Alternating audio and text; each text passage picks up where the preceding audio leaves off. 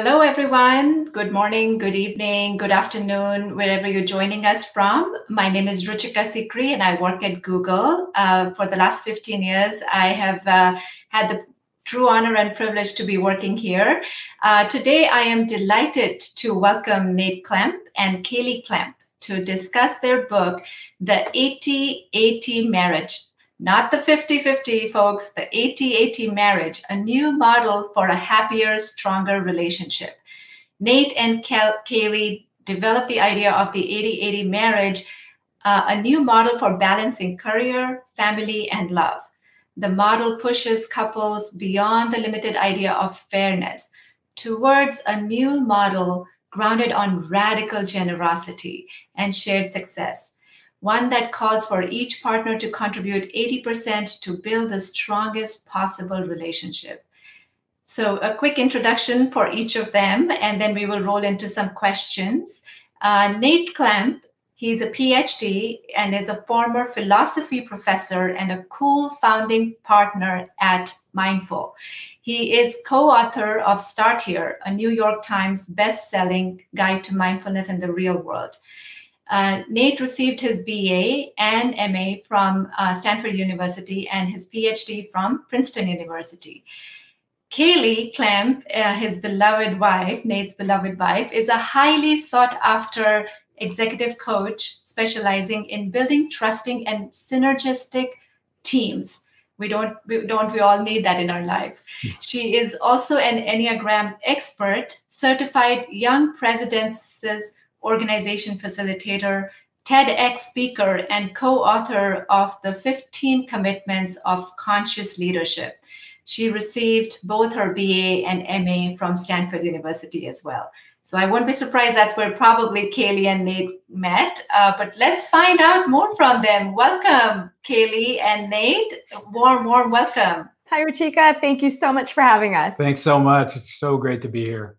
Yeah, it's such such a delight and such a um, important topic as we're navigating, you know, our lives amidst these uncertain, new, ambiguous circumstances. So, so let me start with this question, which is related to the times today we're living in. Hmm. Many of us are now at home all the time.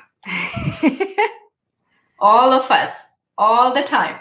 it seems like many couples are compromising their connection together. Yeah what to, what tips do you have for me for all of the couples uh, and the partners who are listening to us today? It's such a great question, Ruchika, because really what we found is that while these times are crazy, and as you're describing it, we're spending so much more time close and in the same quarters, but interestingly, sometimes not connected.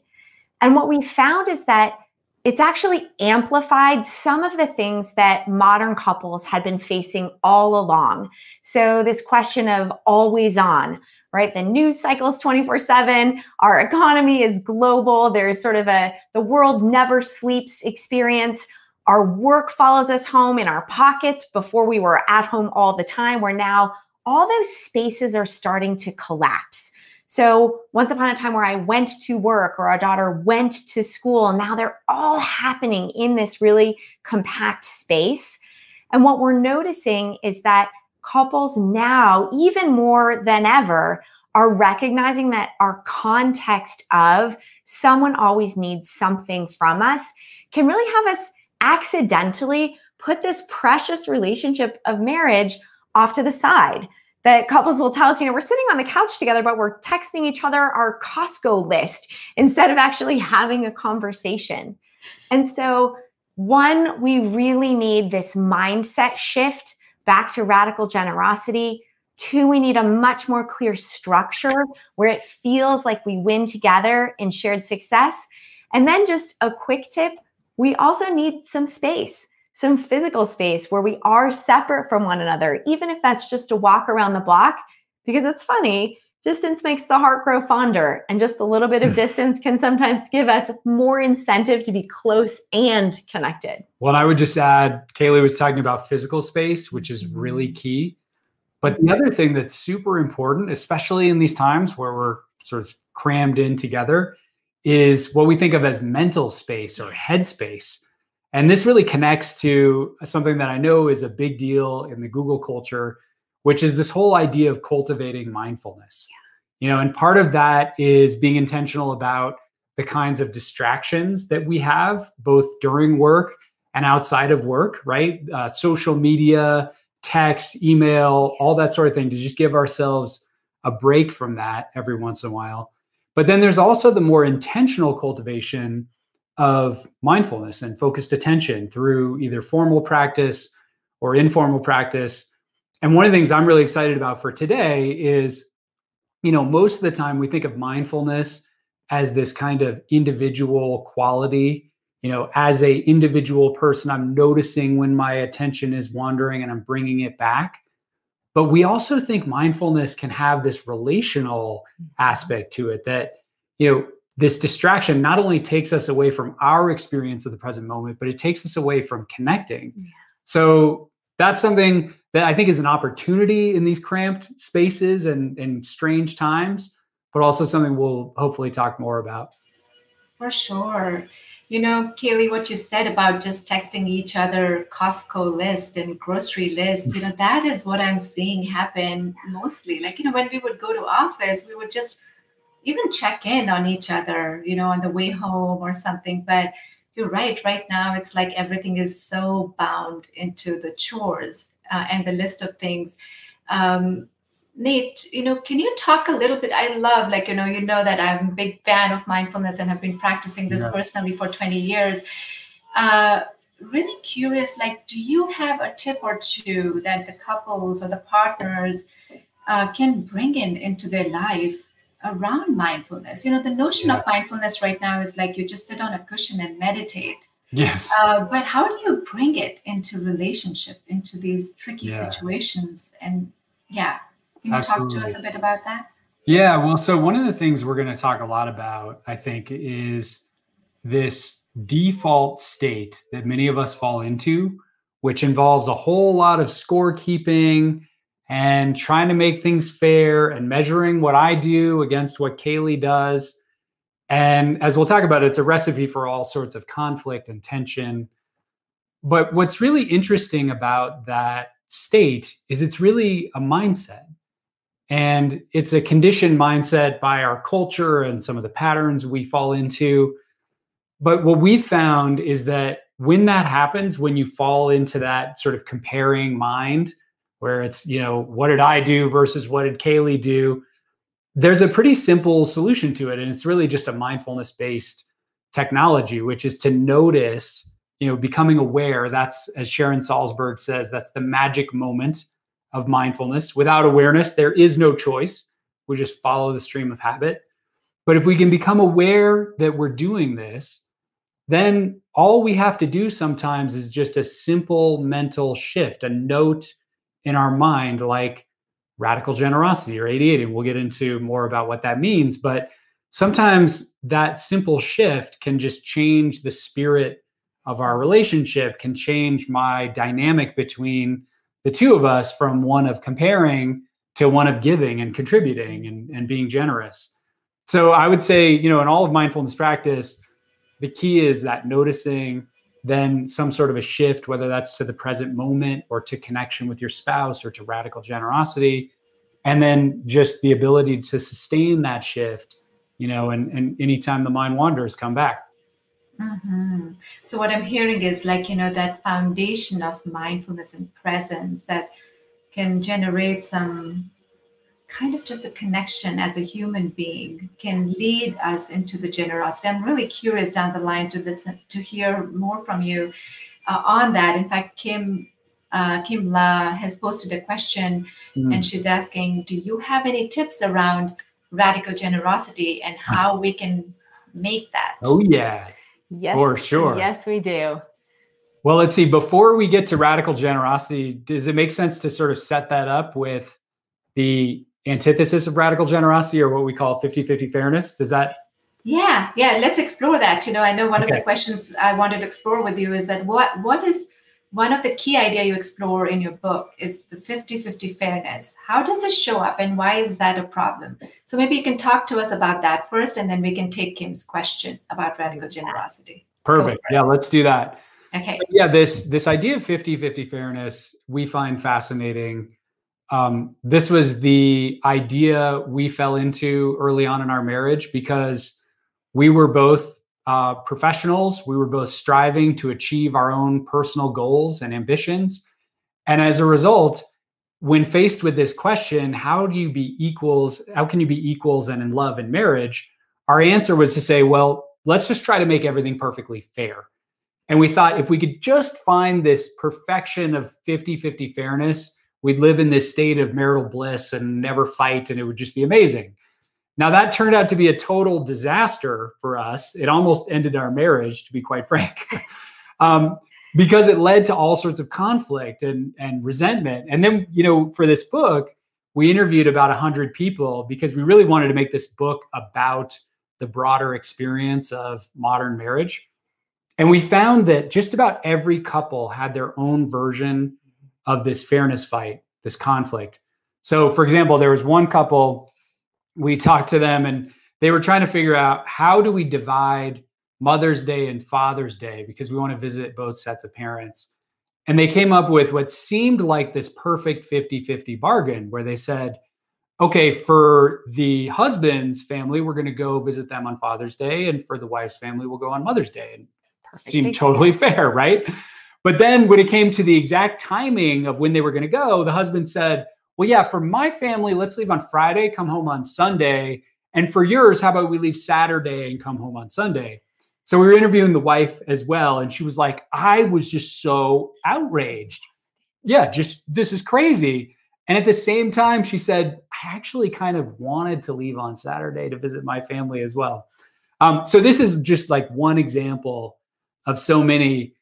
And the reason, though, we think fairness is an important starting point for this conversation is that underneath these conflicts, there's something really key that we started to understand when we looked at the literature and psychology and the research in family studies. And that is that this whole idea of fairness, it's kind of like a mirage in the desert. You think it's there. You think if you just go further toward it, if you get closer to it, you'll finally reach it. But the reality is, it just sort of recedes into the background the closer you get to it. And there are two reasons for this that we found just totally fascinating. So the first is what cognitive psychologists call availability bias, which is basically just a fancy way of saying that everything I do, all of my contributions to our marriage, all my trips, you know, taking our kid to school or dragging the trash cans out to the curb, that's all available to me. I have a perfect insight into that data set. But when it comes to what Kaley does, I don't know, things get like a little bit blurry. Right. Like I am intimately familiar with every basket of laundry folded, every dishwasher emptied. But how long did it take to help with the spelling bee? Exactly. So we tend, as a result, to systematically underestimate the contributions of our spouse. But then it gets even worse because psychologists have also observed that we systematically overestimate our own contributions. So, in other words, when I tell Kaley I, I was cleaning the kitchen for 90 minutes, it was probably more like 60. This is just a, a natural cognitive bias that all of us fall into. So as a result, we're overestimating what we do, we're underestimating what our partner does, and then we get into all these fights over what is or isn't fair using essentially delusion and really bad data. And it's no wonder that this becomes this kind of constant conflict that we can never resolve. And I think the last thing I would just say is the real problem with all of this is that it distracts us from what we really want out of marriage and relationships, which is to be connected and to be in love, right? So so this is why I think fairness is an important starting point just to mm-hmm. see why that doesn't work. It's funny. Every time he talks about overestimation bias, it makes me think of Calvin and Hobbes. And Calvin is measuring his push ups based on how they feel. So he counts his push ups, some version of like one, two, 20, a hundred because that's how housework and childcare very often feels. Yeah, feels exhausting. It does. And so it makes sense that we sort of count in this delusional way. So if we start with 50 50, right, we're getting to this question of radical generosity that you were asking about. We make the transition now to 80 80. And backing up for a second, what are all these numbers? What are we actually even measuring? we're measuring the spirit of contribution to the relationship. So with 50 50, the spirit of contribution is fairness. I want to only do my part, no more, no less, but I am measuring and I'm keeping score and I am tallying in the background. Whereas with 80 80, the spirit of contribution is that of radical generosity, that I am striving to do more than just my 50%, that I'm striving to contribute at 80%. Now, for all the math folks in the room, we recognize that there's actually no such thing as a 160% possibility, but that it's not mathematically possible is kind of the point. That we want to blow up love beyond the necessity of perfectly equal math. So now that we've stretched to 80 80 in terms of our spirit of contribution, there's two pieces the mindset piece, which is radical generosity, that we'll unpack some more in just a second. And then there's also the structure piece. And it's important to have both. Mindset is necessary, but in some ways insufficient because we have to be able to put that mindset into practice in the world. So the mindset of radical generosity then facilitates a structure of shared success. And that's really shifting from our individual projects, our individual pursuits to say, what does it look like for us to win together? So radical generosity. Want to unpack it? Yeah, sure. So I realize we're we're taking a, a long-winded route here, but we're sort of laying out a lot of the big conceptual pieces, which I think should hopefully be helpful. So this idea of radical generosity, as Kaley was saying, is really the key shift in mindset that takes us from this 50-50 model to this alternative of 80-80 marriage that we're putting forth in the book. And again, I think it's really important to view this against the backdrop of our cultural tendency to fall into this 50-50 habit. And as a result of this habit, doing something generous for your spouse when you're constantly keeping score and there's resentment and all these things going on, doing something generous sounds crazy, right? Because it's not fair. By definition, doing something radically generous is basically exiting the whole game of fairness. So, given just the sort of insanity or the craziness of this move, we decided to call it radical generosity because we think it is, in some ways, pretty extreme. It's it's counter habitual, it's countercultural, and it's just something that takes in some ways a leap of faith to try, but we think it's worth it because there are all sorts of benefits that flow from it. But then in terms of the question which was about like what do you do and how does this look in real life? In the book what we've tried to do is break radical generosity down into three primary elements. So the first element is what we think of as contribution or what we do in marriage.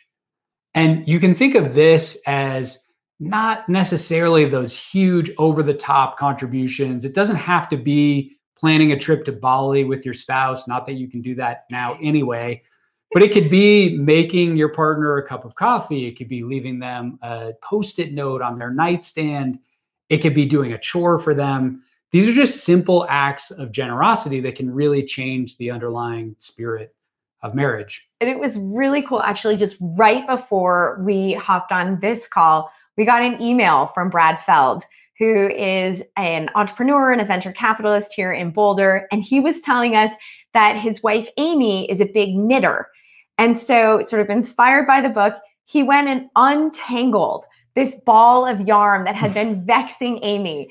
And I, I will, we just love this example where it's so generous, so thoughtful, and so tailored to how Amy received that gift. Yeah, it wasn't fair. I mean, it no. was that was her ball of yarn. Right. She should have been the one doing it, right? yeah. So so that's the first piece.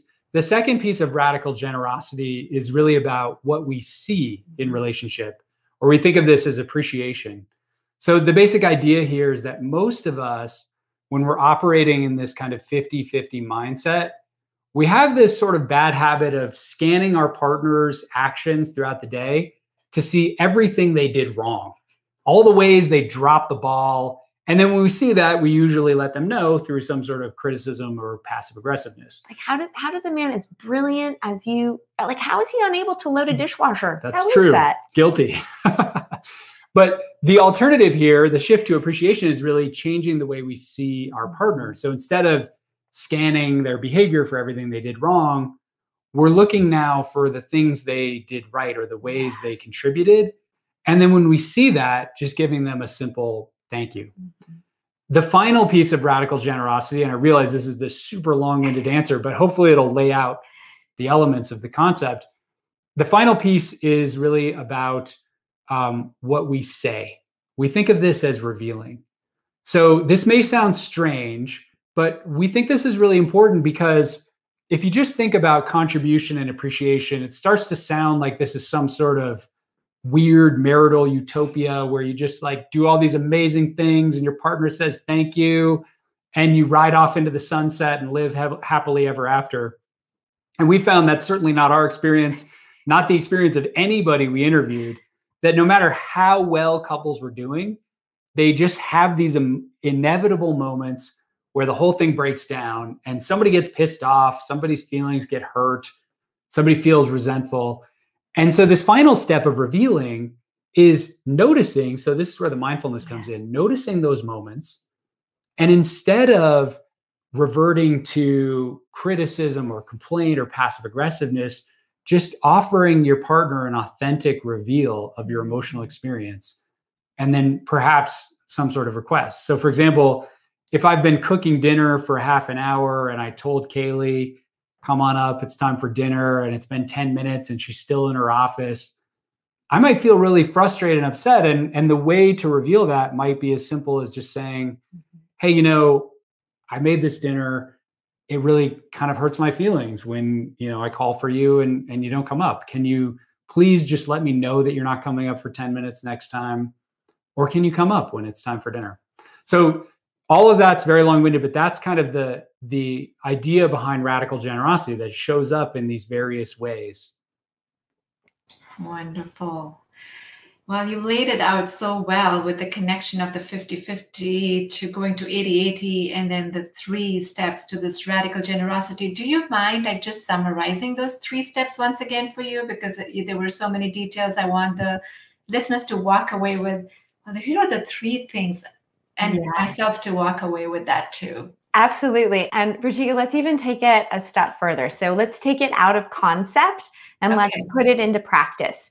So, mm-hmm. Part one of radical generosity is about contribution. So, for everyone who is joining us, grab a sheet of paper or wherever you make notes to yourself and think of one radically generous act of contribution that you can do for your partner and capture it somewhere so that you remember as soon as we finish so that you can actually go do that for your partner. Now, again, this isn't necessarily, you know, an hour long massage, although I would sign up for one of those. Why not? Right? Sounds this good. is turning on the coffee maker. This is helping untangle the yarn. This is leaving a sticky note on their computer that says, I love you.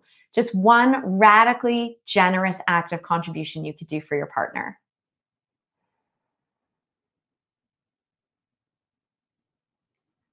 And once you've got that written down, we're going to do the second piece of radical generosity, which is appreciation. And so, perhaps on a sticky note, perhaps if your phone is nearby and you can text someone without completely losing your attention, invite you now to express an appreciation for your partner. If you happen to be with your partner right now, joining us in this experience, you could turn to them and say it. If you're, you know, not with them at this moment, you could text them an appreciation. Again, these can be small things. Things like, I appreciate your creativity in the cocktail you made last night. Or it could be, I appreciate the patience with which you are helping our child log on to school this morning. That they can be some of the small things that might get overlooked but to call them out with that sentiment of gratitude, with appreciation. And one example of this is a real appreciation. So, Kaley, I appreciate you. Last week, our child was in this spelling bee that had to be held outside because they couldn't do it indoors. And it was snowing and it was really cold. And I appreciate you, Kaley, for making sure she had a warm jacket. She had all the clothes she needed so that she could be out there braving the elements. Thank you. And so you get the idea. Contribution and appreciation are things that can happen every day. These are things that can be turned into habits. With reveal and request, that last piece of radical generosity, those are often more situational. If you have something that's tickling your brain, you can make a note of that. And this is where, Ruchika, I think it comes back so beautifully to what you were describing around mindfulness. Can you bring a spirit of mindfulness, of radical generosity to the tone and the quality with which you make that request of your partner and as you reveal your sentiment? And if you do those three pieces contribute, appreciate, reveal, and request you find that sort of virtuous cycle in your relationship and your connection. Beautiful. As I was listening to you, I was like, oh my gosh, I have a list of things that I could be doing, mm. you know, despite like practicing mindfulness. This is such important information that you're sharing with us. Um, also, being mindful of time. Uh, there are a few questions that are coming in, um, and we will hold on to those questions. Sonia, Jadrian, Manisha, uh, who have posted the questions, but just also want to touch upon this second element or the second big shift you describe in the book is about structure. Mm-hmm. So, how do most people come up with their rules in their relationship? And how would you recommend couples come up with their relationship structure? So, you know, I think just also dipping into, um, you know, what you have shared so far, there is some kind of an assumption of like, how much give and take is happening, how much we're meeting. Uh, and it may be not so balanced in every relationship. Maybe it's like more tilted from one partner to the other. So can you talk us talk to us about like if we are really struggling with putting a structure and the set of priorities and sharing some of that work and and even sharing that sense of radical generosity, what could actually enable uh, people to do more more of that? Yeah. Well, I love that question. Yeah. And just to go back, if we look at really the basic question we're trying to answer here in this book, it's about how can we be equals and in love? Mm-hmm. How can we strive for equality without totally destroying connection and intimacy? And we think this is really the fundamental question that all modern couples face.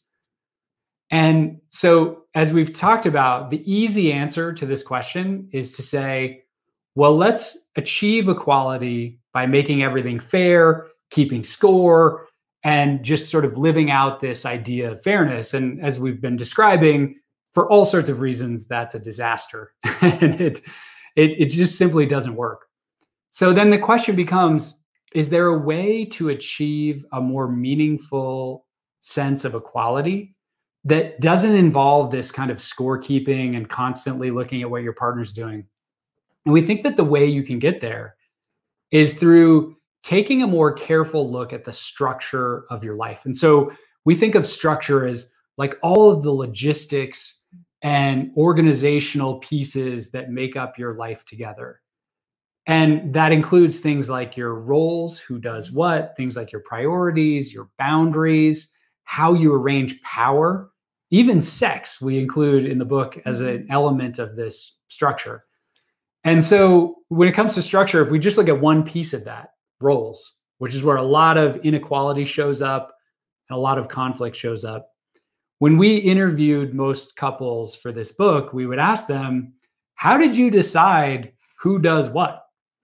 And it was hilarious. We had no idea that this was going to happen. But every time we asked this question, almost, oh. yeah, they would there would be this awkwardly long pause. They'd look at us and they'd say some version of, gosh, I I don't know. We never really decided.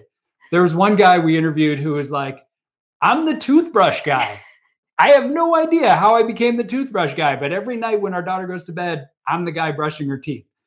And so we actually named this strategy because it was so universal. We called it the wing it approach to roles.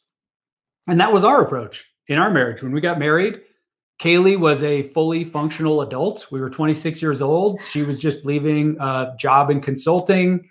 I, on the other hand, was a graduate student living in a dorm that I cleaned like twice a year at most. and so we just fell into this structure of roles where I was the under contributor, Kaley was the over contributor, and that became it had this kind of momentum that really created all sorts of problems in our life. And we turned to fairness as the solution, which, as we've been talking about, didn't really work that well. And so I think you ask a really good question. If sort of the way that we fall into it might be imitation of our parents or assumption of some gender expectations or winging it, what's a different way that could lead us to more of a shared structure of success? And here's where we recommend start with a conversation about values because there's actually not a single definition of success. That in our interviews in particular, it was really powerful to see how many different versions of success couples had. So some had really said, We value education. And so, shared success for us is about educating our children at the best institutions. And others said, success for us is about financial stability. And others said, success for us is about living adventure. And that couple stands out for me. Uh, that's the HoneyTrekkers, who I believe are on year eight, or nine, nine of their honeymoon. And these are choices where you know, they have sold all of their belongings, they live in a van, they travel the world, and they are delighted with their life. They don't have a 401k that we know about, and they've chosen at this point not to have children. But shared success for them was about adventure, which wouldn't necessarily be our definition of success, but that's not what matters. So, really, the foundation here is have a conversation about what is this chapter of your life and your marriage about. And we think about them as chapters because hopefully there's a catalyst either now or when you're first in relationship with someone to have that initial conversation about shared values. But then it's important to revisit anytime there's a big transition. So that could be a new job, that could be if you move to a new city, that could be the birth of a child or the graduation of a child or becoming empty nesters, that in these moments of transition is when we find it's so meaningful to pause and reconvene and ensure that you're on the same page about what you're striving for and what success means for both of you so you can be aligned in that pursuit. And, and there are some tips that you provide in the book that tell you how to approach that conversation and, and have a structure. Yeah, Manisha is actually just chiming in here to say, you know, in some cultures, like, you know, women or like men or one of the partners are expected to take put in like 100 more than 100% and you know um, that's like what i saw growing up you know in my culture mm. as well right like my mom was a homemaker and my dad was the bread earner and this is like how it worked like everything was on her um, to take care of so this is what this is great um, just really uh, looking at our time here. I think we have a few few more minutes to keep going before we open it up for Q and A. Uh, so, what inspired you to write this book? Hmm. you know, I think you've mentioned a few milestones in your own life where you started kind of feeling, "Wow, like this could go differently or in a better way." Wow. When did you arrive at some ideas that you know now that you've implemented in your life and now you want to share it with the world so can you talk to us a little bit about that you bet this this book was definitely born out of our own experience and our own struggle. And i actually think the beginning of the story goes all the way back to high school. So you had a very good guess that we might have met in college but we actually met in high school. So we were um, our senior year of high school we shared a chemistry lab table. We will spare you all of the chemistry jokes. and uh, at that point in time, we really internalized the messages that we were getting from our parents about, you know, be the best that you can be, achieve your potential. That's what led us both to go to Stanford, for Nate to go to Princeton, you know, consulting and coaching, that there was this, you know, attempt by both of us to really be our individual best selves. And for a little while, that seemed to work that we could stay connected and in love and these sort of respites between our individual big dreams. And really, it was when our daughter was first born that that was just on an absolute collision course, that it felt like our whole structure was fraying at the seams. And we were ending up in lots and lots of arguments and frustrated and hurt conversations about whose turn it was and why it wasn't working, why it wasn't fair. And that's kind of what led us to initially the literature looking for has anybody unpacked? We're living in a different time. We're living against a different backdrop. This context is complex in different ways. Not that it's more or less, but complex in different ways from that of our parents. And there really there wasn't anything. And so that was really the catalyst for us to say, gosh, can we do the homework? Can we share the experiences to see if we can't design and discuss and offer a way that resonates with couples in this modern age? And so, what was the most surprising uh, part of mm. writing this book? You know, where were you like, wow, didn't know yeah. this? Yeah, tell us a bit about that. Yeah, there were a few things. One of the things that was really shocking and surprising, and we never would have expected, mm-hmm. is that we've been writing about leadership and mindfulness for well over a decade now. And at no point during that whole journey has anybody ever come up to me and said, you know, you should be so careful writing about mindfulness. I knew a guy who went on a meditation retreat and he just lost it. If you write about mindfulness, you're going to lose your mind. You're going to go crazy. And I know that sounds like a really strange thing to say, but the moment we started working on this project and we started telling people, yeah, we're thinking about writing a book on marriage, people were coming out of the woodwork, coworkers, friends, family, people we hardly even knew to say some version of, you guys, this is dangerous. I'm not sure you should touch this. There was one guy I remember, he called me up and he wanted to tell me that he had these friends who started a podcast on how to have a healthy, better marriage, and they got divorced a year later.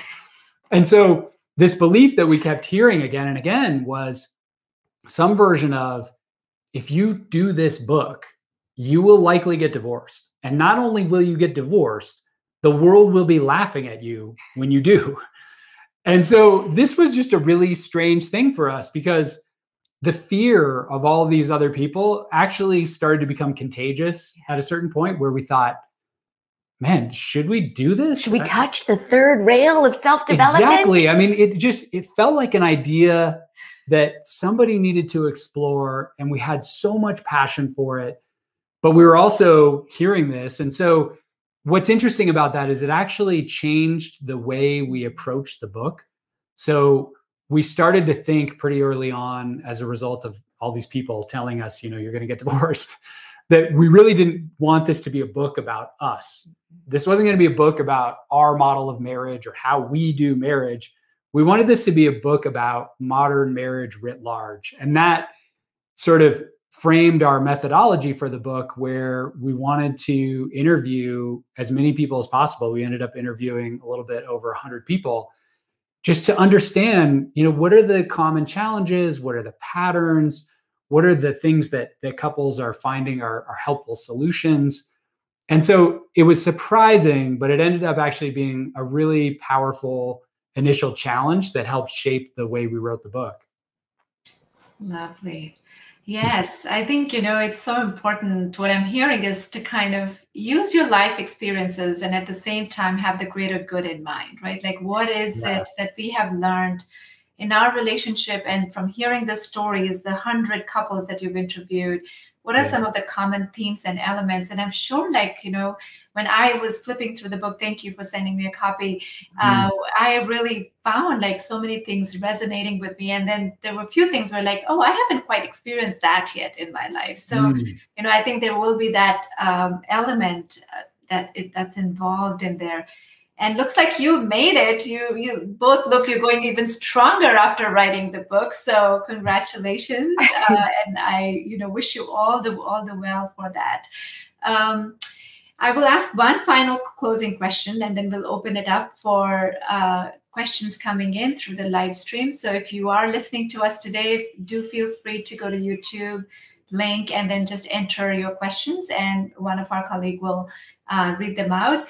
My final question to you both is, you know, what's the one insight or practice you hope uh, couples or individuals, you know, one of the partner listening to us today can take away from our talk uh, in this moment and just do like one step towards creating this radical generosity mindset or the 80 80 mindset, what's an invitation or an insight you can provide to us?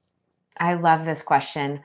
I would go back to the practice that we did just a little while ago that hopefully there are lots of things to take, but if there is just one thing, it's to actually do that contribution that you wrote down and express the appreciation that you wrote down.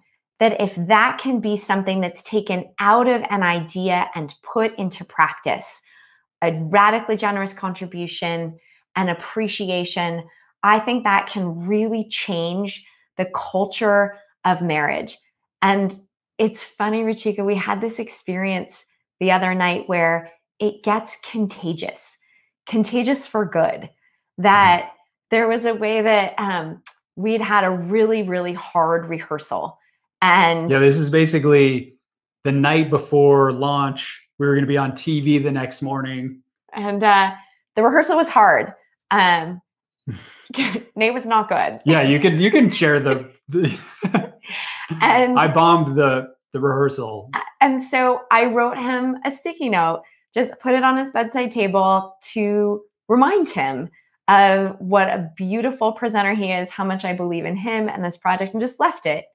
And I woke up the next morning to just a thoughtful, caring, beautiful card. And the part of the story that's my favorite is that that evening, our nine year old left us good luck notes on our bedside table. So it seems small. I mean, it was us one sticky note. And yet, I really believe that it has the power to transform our relationships and our families. Yeah, we like to talk about that as almost like an upward spiral versus the downward spiral of 50 50, where there's more resentment, more conflict. These radical acts of generosity lead to more radical acts of generosity. And it, it's this amazing phenomenon that can really change the culture of marriage. Lovely. Wow. I've experienced that in many other facets of life, not with sticky notes uh, going contagious yet, but I'm going to get definitely give that a try. But it shows it can be super low tech. You don't yes. need to do anything Use... crazy.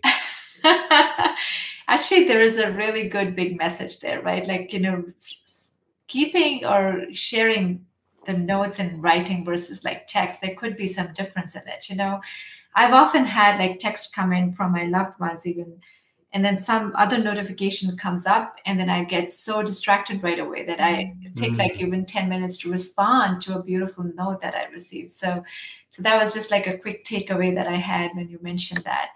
Well, thank you so much, uh, Kaley and Nate. This has been really powerful discussion, and I look forward to reading your full book. I will turn it over to my colleague Mel, who is going to take the questions that has come up in the live chat. Um, and uh, yeah, great to see you both, and hoping to stay connected with you on this path. Thank you so much. Look yeah. forward to longer and more connection. Thank you. Thank you. Great. So, a question um, that has come up from Sonia is everyone may need different amount of space. How do you not feel guilty, unfair uh, for taking more than your partner? Mm-hmm. Can you talk to us about that? Yeah. What an interesting question because in some ways, space can become just one more piece of the fairness battle and so I think what's really powerful in your question is it Sonia who's asking? Awesome. Yes. Yeah. Sonia is in in relationship very often there's one person who needs more of something or craves more of something or is better at something. So for instance, one person might want more space, someone else might want the house to be cleaner, someone else might want more social engagement. And really what we found is that having that person for whom either the standards are higher or the needs are greater, have that person spearhead how the agreement or conversation works in the partnership really helps. The other piece of this that I think is really powerful is that there's a mindset question embedded in your question, which is if I see my partner engaging in taking space or alone time, solitude, meditation, whatever it is that he or she might need, if I see that as a slight, then it's likely that I would measure against it. Whereas if I experience that as a gift to our relationship, it actually can feel really beneficial. Truly, in our relationship, hopefully I'm allowed to oh, say yeah, this. absolutely. Nate needs more space than I do. I do. I am extroverted, he is introverted. His meditation practice is much more disciplined and longer than mine. And there was a period of time in our relationship where I will acknowledge I resented him for it. I was like, how come you get to go meditate and go do yoga? That's not fair. And yet now I genuinely experience the spaciousness that he brings to our partnership the pause that he can bring where there's such a lack of reactivity that space that serves both his introvert and his mindfulness practice is actually a gift to me Yeah, it's such a great question. Thank you. Jadrian, I hope I'm saying your name right. Mhm. Uh, Jadrian is asking, you talked about individual cognitive biases, but what about gender biases? In heterosexual partnerships, women almost always end up contributing more. It doesn't sound like 80 80 counteracts that. Yeah, this is a great question. Um, and this is something we were very sensitive to in writing this book. Um, we actually, before we get to 50 50 in the book, we talk about the 80 20 model, which is 1950s classic model. Woman contributes 80% or more, man contributes 20% or less. And, um, you know, one of the things we found, to your point, is that all of the research is very clear that women consistently over contribute, men consistently under contribute. It's not true of all relationships, but it is absolutely something that that's that's pervasive. And so throughout the book, we try to um, address that not through fairness. We think of fairness as a kind of very clunky technology for achieving equality and mitigating some of these gender inequalities. I mean, it it works for some people, but for many couples, we found that this idea that we're going to counteract these structural inequalities in gender and, and contribution in marriage actually exacerbates them Mhm. right that, that it creates even more inequality and we experienced that in our own life where i was the under contributing partner. Kaley was the over contributing partner. And the more kaley tried to tell me that things weren't fair the less i wanted to do right? We reached a certain point in our relationship where i basically said there's nothing i can do that's going to satisfy you or ever achieve fairness in your eyes. So i'm just not going to do anything. Right? So so in other words this this approach of fairness turned out to sort of have the reverse effect of its intended effect. And so in the book what we argue is that this idea of structure so we talked about you know creating an intentional structure around roles really thinking carefully about how we balance power and neutralize mm-hmm. asymmetries of power. That's the way we think you can start to counteract those gender inequalities and that's the way you can achieve a more meaningful experience of equality where you know if we sit down together and we create a more balanced distribution of roles or we figure out how to distribute power in a more balanced way that's such a more powerful experience of equality than constantly nagging each other about like whether things are or not fair so I love the question. I think it's such an important question. And it's definitely a question that we wanted to address in the context of the book. One thing that we actually snuck into is what we call the 80 90 nudge, which Yes. is that based exactly on what you're describing, that because of the historical legacy of the way that gender norms shaped roles and relationships, that if you're committed to 80 80 in your partnership, and you're in a heterosexual couple and you're male, so lots of ifs, then we encourage the nudge, strive for 90%, just because there's so much historical um, cognitive biasy uh, blind spot that you're actually working against. And I will say one other thing on that. the research about over or overestimation of our own contributions shows very interestingly that both women and men overestimate their contributions. So we both have this cognitive bias, but men do it way more. Right. So so not only are men guilty in the abstract of doing less, but they're also guilty of overestimating their contributions, which just magnifies the problem. Good insights. Thank you. Thank you. Okay, so Priya's asking, do you have any tips for long distance relationships? Mm-hmm. So, in long distance relationships, in some ways, the, the basics are consistent.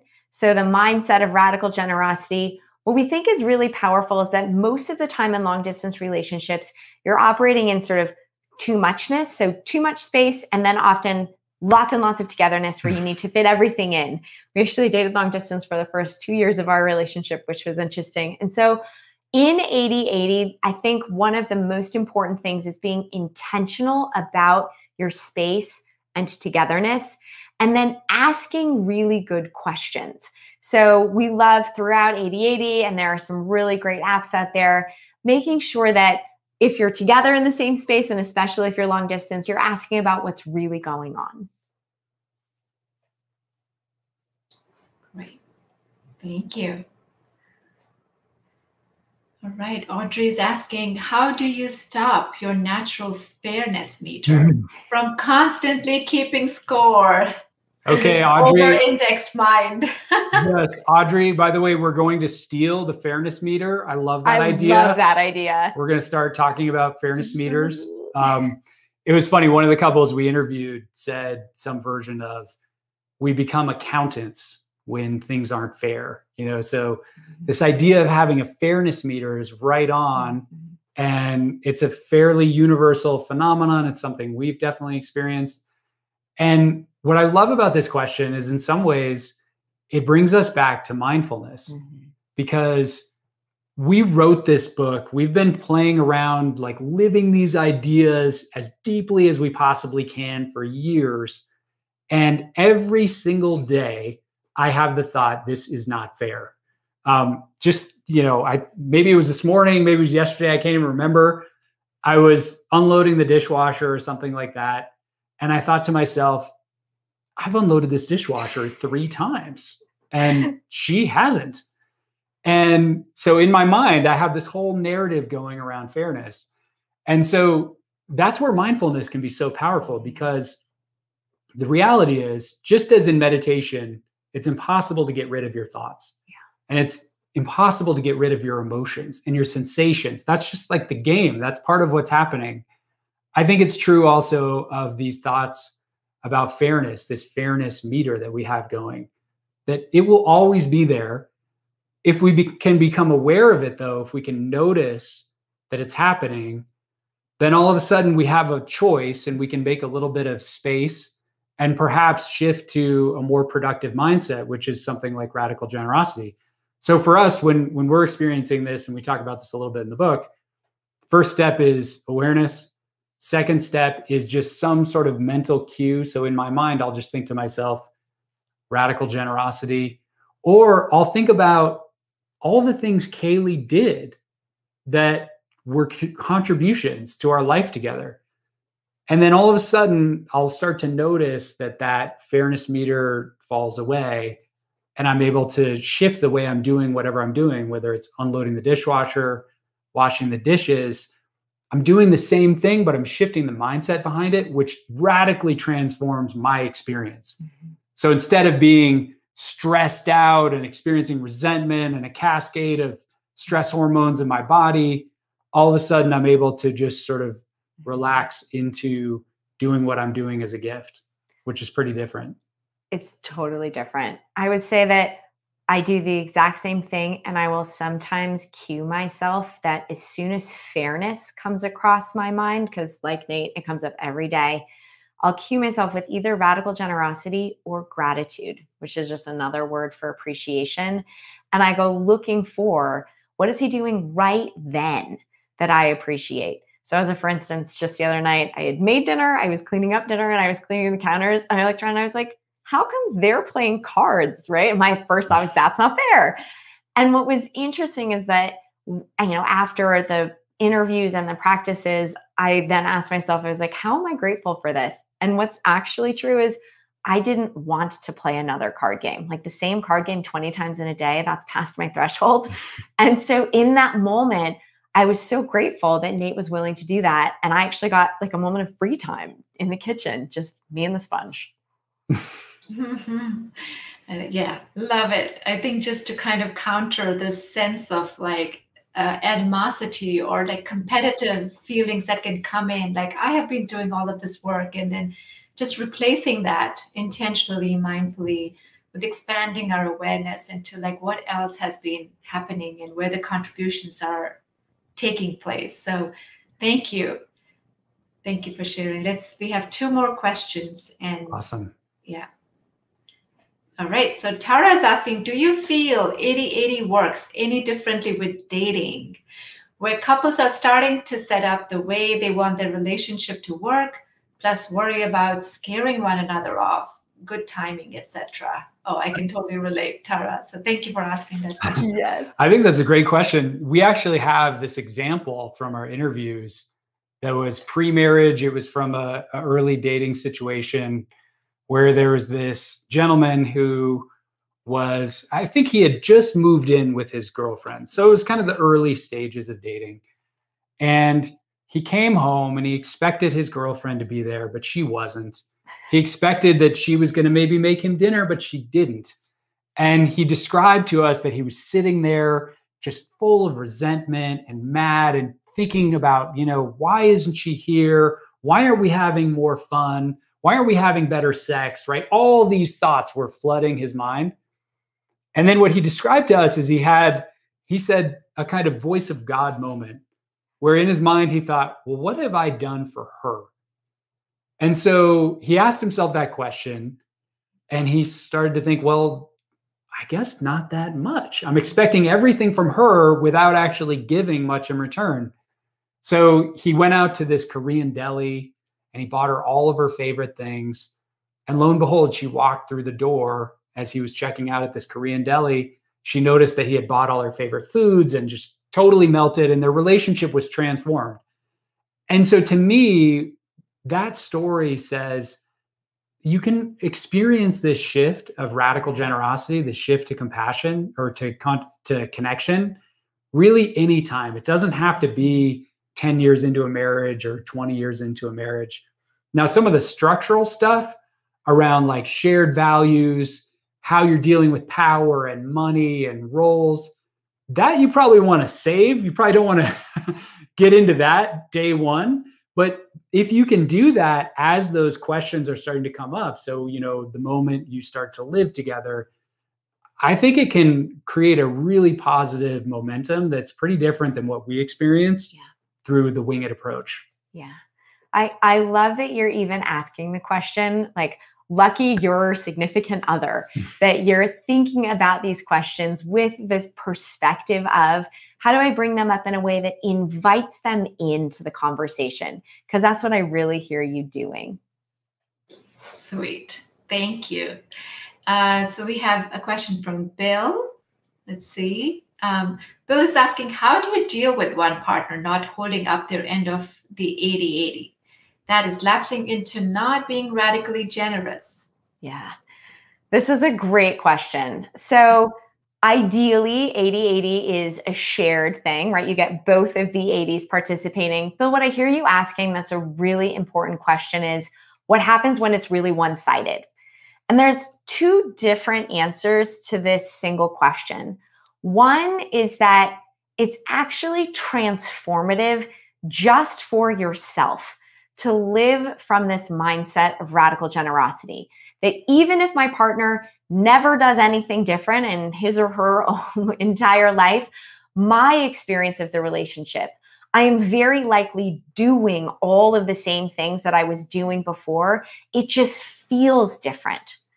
The second answer is this could be a really great opportunity for a reveal and request to be able to say, hey, gosh, I noticed it was my third time unloading the dishwasher. And I'd love if you'd take a turn. Underneath it, though, I think there's a really powerful question, which is if I'm the over contributing partner. So if I'm the one and I feel like I'm really doing my 80, but gosh, my slacker partner over there, they're only doing 20 or 30, like they're not even up at 50, then I think there's a question around how have I, as the over contributing partner, possibly unconsciously, very likely unconsciously, set up our relationship so that I'm the one who's kind of always doing more. And it's a painful question to look at. This was one that I faced really strongly was that I would sort of look and be like, how come I'm doing everything? But underneath that, I recognized initially that was because I wanted the control. I wanted to know how everything was being done, that it was being done right according to my standards, right in huge quotations. And so, really, only when I was willing to be helped, when I was willing to let go of some of my control around things, could I allow Nate to show up and really be that 80 80 partner with me. That's very interesting that you mentioned the the concept of control. Like I have actually experienced that as a mother as well. Like you know, when my children are trying to do something and I want it happen in a certain way, uh, so that brought uh, that memory. There are a lot of thank yous coming up, uh, you know, in the chat. So thank you, Nate um, mm. and Kaley. Uh, Lily has like one clarifying question, and then we'll close after this. Lily's saying, "Did you recommend to drop the concept of the fairness instead of giving love?" As one party can always think unfair if they feel con- if they feel contributed more, if they feel they contributed more. Yeah. So I think, Lily, if I understand your question, we would say that trying to make things fair is a losing pursuit because you can never get there. So, yes, drop fairness and instead pursue radical generosity because that leads you to be equals and in love. Sweet. Such a sweet note to end at. Thank you so much. Lots of hearts and love and thank yous coming through the chat.